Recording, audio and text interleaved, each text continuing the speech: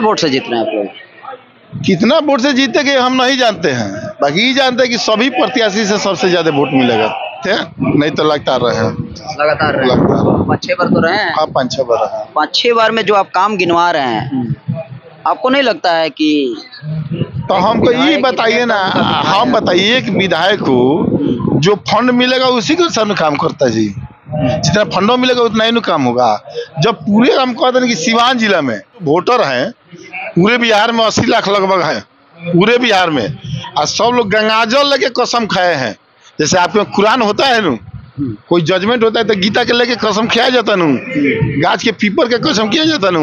उसी तरह गंगाजल का भी पवित्र माना जाता है। तो पूरे हमारे नेता आदरणीय मुकेश सहनी जी ने पूरे बिहार में, उत्तर प्रदेश में, झारखंड में भरमर करके गंगाजल हाथ में लेके यही सिवान के टाणवा फ़ील्ड में।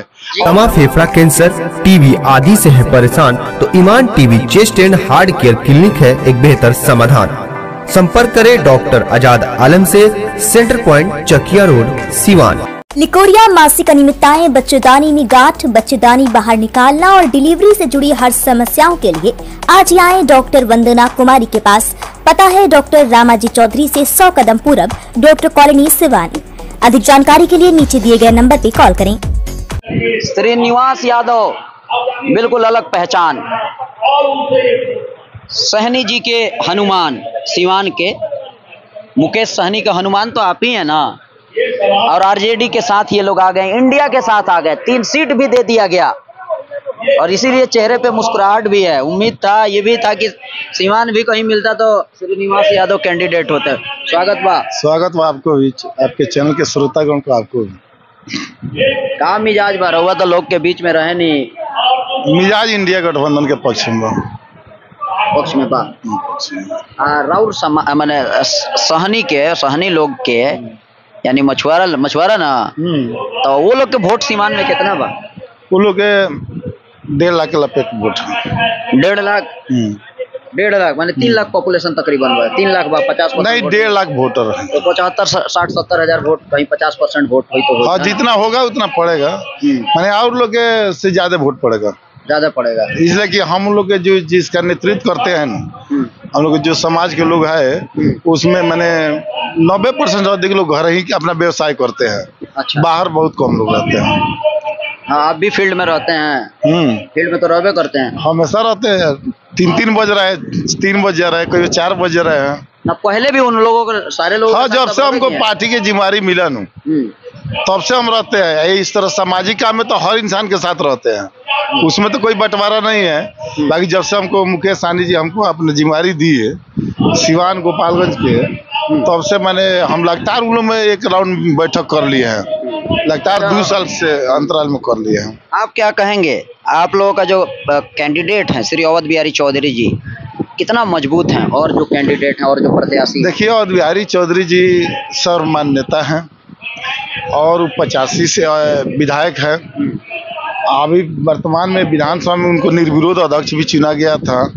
अब अभी हाल में अभी विधायक भी है। तो इसी परिस्थिति में राजनीति में तो जो व्यक्ति जीता वही सिकंदर है। उससे मजबूती है। और जो इंडिया गठबंधन बने, में छह दल का गठबंधन है। और खासकर सिवान में ऐसा गठबंधन हुआ टूट गठबंधन हुआ है, कि लोग मैंने सुई बराबर छेद नहीं लगा सकते इसमें। इतना ना मजबूती से है कि अगर कोई सोच रहा है कि पूर्वा पछुआ इधर बहेगा तो लोग बहक जाएँगे, बाकी हमको नहीं लगता कि बहक पाएँगे। लोग एकदम मजबूती से चौधरी के साथ कितने वोट से जीत रहे हैं आप लोग? कितना वोट से जीतेंगे हम नहीं जानते हैं? बाकी ये जानते हैं कि सभी प्रत्याशी से सबसे ज़्यादा वोट मिलेगा। कैसे मने? समीकरण- के विधायक रहे विधानसभा स्पीकर भी रहे कई बार मंत्री भी रहे। हम्म। आप तो शुरू से लेकर नब्बे से अब भी एक्टिव है मैंने उस जमाने पहले से ही एक्टिव है।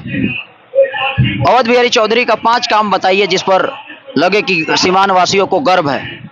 देखिए अवध बिहारी चौधरी को हम पहले का काम आपको बताते हैं।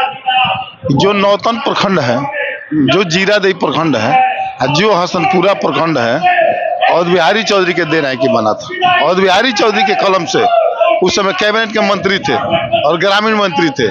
उन्हीं ने प्रस्ताव दिया और सरकार से मंजूरी कराकर सिवान में तीन तीन ब्लॉक बनवाने का काम किए। उनके शासन काल में हम लोग उस समय दरौली विधानसभा से मैंने आते थे। भाई, आज भी दरौली विधानसभा से आते हैं।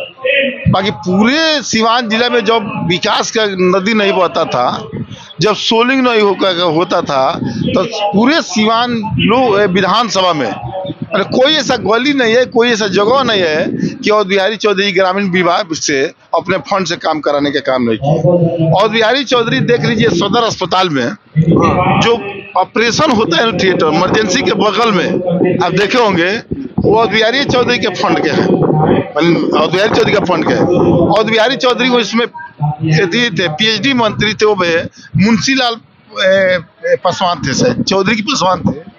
उस समय बिहार के मंत्री थे। तो सदर अस्पताल में पानी टंकी इन्होंने बनवाए थे। उन्हें के रिक्वेस्ट है। और इनके अपने शासन काल में जितना जैसे पीएचडी मंत्री थे पूरे सीवान ज़िले में, चाहे किसी भी जाति, धर्म, पार्टी, पर लोग आया है, सबको ही भरपूर मात्रा में कॉल देने का काम किया। घर घर उस समय चापा कॉल की मौत था, लोग देने का काम किए। चौधरी जी को हमको लगता है कि विकास के अलावे सामाजिक स्तर पर हमेशा सोच रहता है लोगों के एक साथ रहने के लिए काम करने के लिए। और लोगों का आगे हर दुख सुख में शामिल रहते हैं।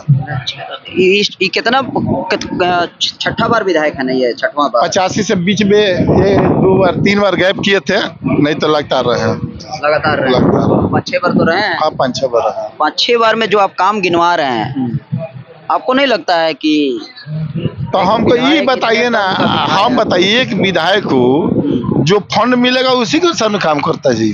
जितना फंडो मिलेगा उतना ही काम होगा।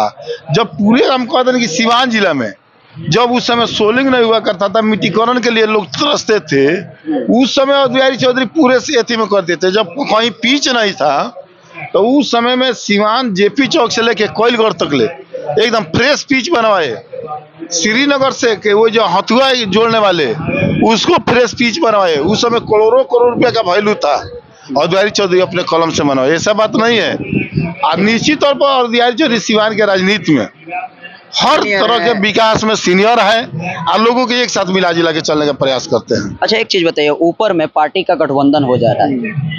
सोनी जी को शायद कहीं मतलब एनडीए वालों ने नहीं रखा तो इधर तेजस्वी जी अपने में सटा लिए हैं। अभी तीन सीट भी दे दिए हैं। तो ऊपर पार्टियों का तो गठबंधन हो जा रहा है। क्या धरातल पे जो वोटर हैं अलग अलग पार्टियों के अलग अलग कैडर होता है, वोटर होता है, वो कितना एकजुट हो रहे हैं? देखिए, हमारे जो नेता हैं, मुकेश सहनी जी, वो पहले भी उनका मैनिफेस्टो क्लियर है कि हमको किसी भी गठबंधन से कोई परहेज नहीं है। ये नहीं कि इंडिया से या इंडिया से इंडिया से कोई परहेज नहीं है। उनका कहना है कि हमारे जो वंचित समाज है, जिसका दिल्ली में आरक्षण मिलता है महाराष्ट्र में आरक्षण मिलता है बंगाल में आरक्षण मिलता है उत्तर प्रदेश बिहार झारखंड में किस परिस्थिति में आरक्षण नहीं मिलता है? हमारा जो आरक्षण देगा हक हिस्सा दिलवाएगा हमारे समाज को हम उनके साथ रहेंगे। तो जो इंडिया इंडिया के लोग हैं इंडिया के लोग हैं जो बीजेपी के लोग हैं उन्होंने इस मुद्दा से इनकार कर दिया। और उस मुद्दा को राहुल गांधी तेजस्वी यादव लालू यादव दीपांकर भट्टाचार्य जैसे लोग कैबिनेट में अपने कोर कमेटी में बैठक करके फैसला लिया कि जिस गरीब गुरबा के हम लोग लड़ाई लड़ते हैं, उसी गरीब गुरबा के मुकेश सहनी जी भी लड़ाई लड़ते हैं। तो इनका हक तो जायज़ है। वो गरीब व्यक्ति को अधिकार मिलना चाहिए, हक हिस्सा मिलना चाहिए। तो उन्होंने स्वीकार लिया कि मेरी सरकार बनेगी या मैं सरकार में आऊँगा या विपक्ष में रहूँगा। तो आपके मुद्दा को हम लोग सदन में उठाने का काम करेंगे। उसी के तहत हमारे पार्टी को समझौता हुआ है। चलिए जो सवाल हमने पूछा था कि पार्टियों का तो गठबंधन हो जा रहा है लेकिन देखना बड़ा दिलचस्प होगा कि रियल में धरातल पे और जो वोटर हैं वो कितना एकजुट होके वोट देते हैं। तो फ़िलहाल अभी हमारे साथ श्रीनिवास यादव जी थे। और सुनिए हमारे जो वोटर हैं पूरे बिहार में अस्सी लाख लगभग है। पूरे बिहार में। और सब लोग गंगाजल लेके कसम खाए हैं। जैसे आपके कुरान होता है ना? कोई जजमेंट होता है तो गीता के लेके कसम खाया जाता नू। गाछ के पीपर के कसम किया जाता नू। उसी तरह गंगाजल का भी पवित्र माना जाता है। तो पूरे हमारे नेता आदरणीय मुकेश सहनी जी ने पूरे बिहार में, उत्तर प्रदेश में, झारखंड में भरमर करके गंगाजल हाथ में लेके, यही सिवान के टाणवा फ़ील्ड में, और मैंने हर गाँव गाँव में जाके कसम खिलाया हूँ कि हम लोग आधा रोटी खाएँगे। हम लोग बिना सीट के भी समझौता करके अगर कोई मेरा आरक्षण देगा हम लोग निस्वार्थ भाव से उसको मदद करने का काम करेंगे। इसलिए हमारे वोटर में कोई दिक्कत नहीं है। और जिसका है वो अपना समझे। रिज़ल्ट आएगा तो पता चल जाएगा। रिज़ल्ट क्लियर है। रिज़ल्ट आएगा तो पता चल जाएगा। रिज़ल्ट एकदम क्लियर है कि मेरा गठबंधन मेरा हाँ। जो वोटर है जो मेरे पार्टी के समर्थक है इंडिया के वो इंडिया के साथ है। चलिए बहुत बहुत शुक्रिया।